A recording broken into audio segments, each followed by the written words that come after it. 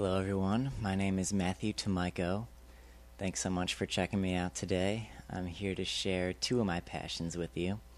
One is my music, be playing a collection of what I think are some of my best original songs.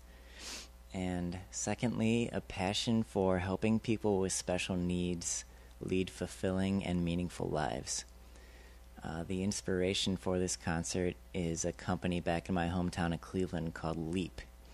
Uh, stands for Linking Employment, Abilities, and Potential.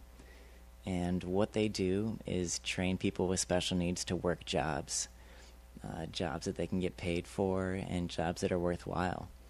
So, uh, doing this e concert, selling the album of it for $5 uh, any profits that come out of that will go straight to Leap to support them in their endeavors.